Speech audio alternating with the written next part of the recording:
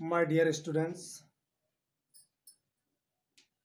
in the present video i am going to teach you about the sentences of habitual actions प्रिय विद्यार्थियों आज के इस video में मैं आपको हैबिचुअल एक्शन से संबंधित रूल्स के बारे में पढ़ाने जा रहा हूँ कि हैबिचुअल एक्शन को हम किस प्रकार से ट्रांसलेट करते हैं अथवा उनका प्रयोग करते हैं? टॉपिक है rules of habitual actions habitual action का अर्थ स्वाभाविक कार्य से है। अर्थात जो हम नेचुरल काम करते हैं, स्वाभाविक, हम जैसे कुत्तों का काम भौंकना है। तो ये क्या है? नेचुरल हैबिट है, या हम इसे हैबिचुअल एक्शन कहेंगे। Habitual action means actions related to habit और नेचर नेचर स्वभाव, आदत या स्वभाव से संबंधित जब कोई एक्शन प्रकट होता है तो उसका मतलब होता है हैबिचुअल एक्शंस इसका भी रूल है। Common noun in plural number without article show habitual action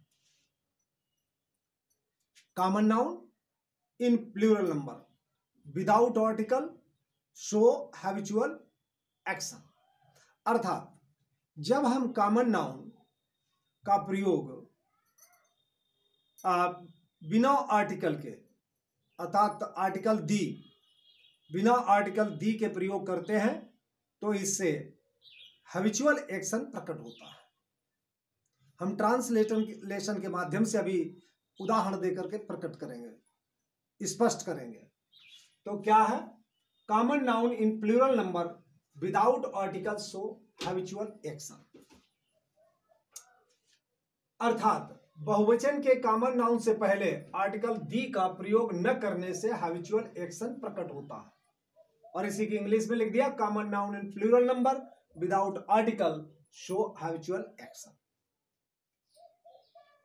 तो इस प्रकार से कॉमन नाउन का यदि सब्जेक्ट है तो हैबिचुअल एक्शन प्रकट करने के लिए हम आर्टिकल का प्रयोग नहीं करेंगे। और यदि प्रॉपर नाउन है तो रूल नंबर टू में दर्शाया है प्रॉपर नाउन की आदत हैबिचुअल एक्शन प्रकट करने के लिए प्रेजेंट टेंस में इज़ अकस्टम्ड और पास्ट टेंस में यूज़ टू अथवा वुड का प्रयोग करते हैं और निगेटिव के लिए डिड नॉट यूज़ टू का प्रयोग करते हैं। बच्चों, यदि प्रॉपर नाउन के माध्यम से हैबिचुअल एक्शन प्रकट करना है तो उसके लिए हम अकस्टम्ड टू का प्रयोग करते हैं। और पास्ट टेंस में यूज्ड टू अथवा वुड का प्रयोग करते हैं। और नेगेटिव के लिए डिड नॉट यूज़ टू का प्रयोग करते हैं। वंस अगेन यदि प्रॉपर नाउन के माध्यम से हविचुअल एक्शन प्रकट करना है तो प्रेजेंट टेंस में इज़ अकस्टम्ड का प्रयोग करते हैं। और पास्ट टेंस में यूज्ड टू अथवा वुड का प्रयोग करते हैं। और निगेटिव के लिए डिड नॉट यूज़ टू का प्रयोग करते हैं। तो बच्चों, ये दोनों रूल्स अच्छी तरीके से समझ में आ गए होंगे। अब हम इनको उदाहरण के माध्यम से प्रकट कर, प्रकट करते हैं, स्पष्ट करते हैं।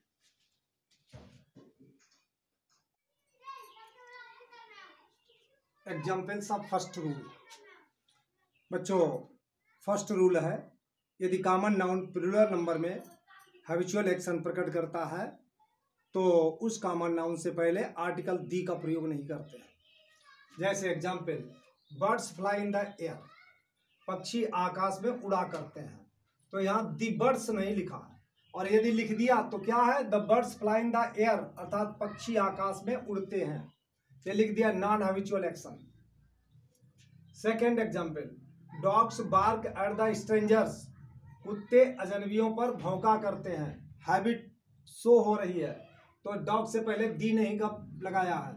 और कुत्ते भौंकते हैं द डॉग्स बार्क या the dogs bark at the strangers. Boys make a noise. लड़के शोर मचाया करते हैं। बॉयज़ से पहले दी का प्रयोग नहीं किया। इसलिए ये हैबिचुअल एक्शन है। और लड़के शोर मचाते हैं। The boys make a noise यह हैबिचुअल एक्शन नहीं है। तो अंतर बिल्कुल स्पष्ट हो गया है कि हम हैबिचुअल एक्शन वाले सेंटेंस में कॉमन नाउन से पहले दी का प्रयोग नहीं करते हैं। अब सेकेंड रूल एग्जाम्पल्स अर्थात प्रॉपर नाउन प्रॉपर नाउन में प्रेजेंट में हैबिचुअल एक्शन शो करने के लिए इज़ अकस्टम्ड टू का प्रयोग करते हैं। पास्ट टेंस में यूज्ड टू या वुड का प्रयोग करते हैं। और निगेटिव में डिड नॉट यूज़ टू का प्रयोग करते हैं। For example Hari is accustomed to sleep in the day Hari दिन में सोया करता है। वह शतरंज खेला करता था। He use to play chess या he would play chess she did not use to come here daily वह प्रतिदिन यहाँ नहीं आया करती थी। तो इन एग्ज़ाम्पल से स्पष्ट है कि प्रॉपर नाउन में हैबिचुअल एक्शन शो करने के लिए प्रेजेंट में अकस्टम्ड टू पास्ट में यूज़ टू या वुड और निगेटिव में डिड नॉट यूज़ टू का प्रयोग करते हैं। तो बच्चों, मैं आशा करता हूँ कि ये हैबिचुअल एक्शंस वाले सेंटेंसेस आपको समझ में आ गए होंगे।